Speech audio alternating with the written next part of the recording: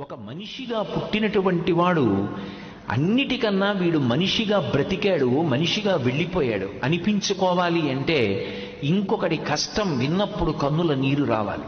ఇంకొకటి కష్టం విన్నప్పుడు గుండె బరువెక్కాలి ఇంకొకడికి నేను ఏం సాయం చెయ్యగలను అన్న తాపత్రయం ఉండాలి.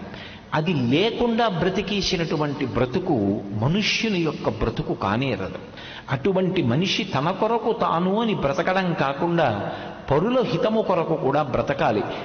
ఎప్పుడూ ఇతరులకు ఉపకారం చెయ్యాలని తాపత్రయపడేటటువంటి వ్యక్తిని పంచభూతములు సర్వదా రక్ష చేస్తూ ఉంటాయిట. అంత గొప్పది ఆ పరోపకారం పరహిత